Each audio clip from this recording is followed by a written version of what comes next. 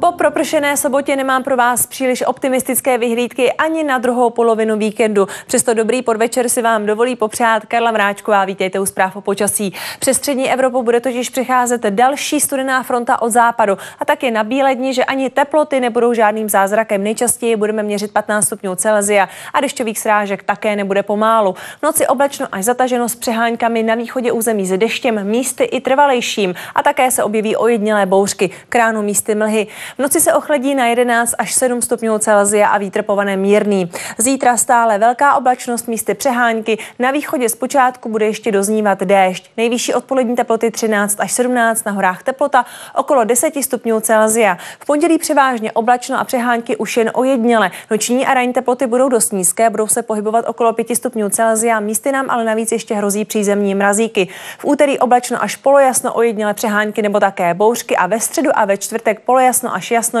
jen přechodně oblačno a ujednělé přehánky. A ve čtvrtek a také v pátek úžasné teploty, letní hodnoty. Přeji vám krásný večer.